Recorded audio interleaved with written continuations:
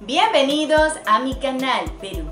El periodista César Hildebrand volvió a referirse al presidente de la República, Pedro Castillo, pero esta vez criticando que el secretario de Perú Libre, Vladimir Cerrón, sea un presidente de sombra, ya que tiene decisiones en la gestión gubernamental. Vamos a ver todos los detalles de esta noticia en el próximo video.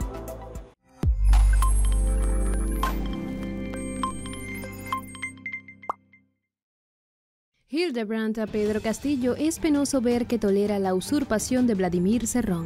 El periodista César Hildebrand volvió a referirse al presidente de la República Pedro Castillo, pero esta vez criticando que el secretario de Perú Libre, Vladimir Serrón, sea un presidente de sombra, ya que tiene decisiones en la gestión gubernamental. A través de su columna titulada Carta abierta a Pedro Castillo, sostuvo que Castillo asumió el cargo de presidente del Perú, pero ha dejado pasar varias oportunidades para demostrar que es el mandatario dejando que la influencia del exgobernador de Junín se haga más notoria ante la opinión pública. Ya no me cabe duda, señor presidente, de que usted no ejerce plenamente sus funciones. Ha tolerado y tolera usted que Vladimir Cerrón sea una especie de mandatario paralelo, del presidente en la sombra, de mandón sin títulos ni legitimidad ni actas escrutadas. Cerrón funciona como un mecanismo de relojería. No es usted cabalmente el presidente de la República, señor Castillo. Asimismo, el comunicador cuestionó y calificó de penoso ver que el presidente de la República tolere la usurpación de su gobierno. Lo que es penoso ver a un presidente legítimo que tolera la usurpación y calla ante la intromisión en el seno mismo del poder de un sucio que no sabe de límites y que aspira a gobernar desde las sombras. En política, señor presidente, no solo se requiere buena fe, se necesita carácter para afrontar lo difícil, coraje para vencer las dificultades e instinto. Finalmente, el periodista cerró su columna preguntando si el presidente tendrá la legitimidad de hacerse respetar y hasta exhortó a Pedro Castillo a dejar el cargo si no se siente en la capacidad de aclarar las cosas sobre quién está realmente a cargo del gobierno.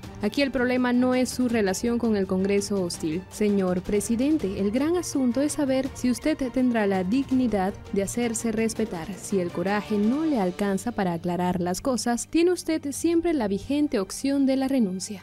Hildebrand no puede creer que Castillo siga subordinado a Cerrón y no tome su posición como presidente. ¿Crees que Cerrón es el que hizo que Castillo retrocediera sobre cambiar el gabinete? ¿Merece gobernarnos? Te invitamos a dejar tus opiniones en la parte de abajo. Tampoco olvides suscribirte, dejar tu me gusta y hacer clic en la campana de notificaciones. Hasta luego. Queremos saber tus impresiones acerca de estas declaraciones dadas por el periodista César Hildebrand.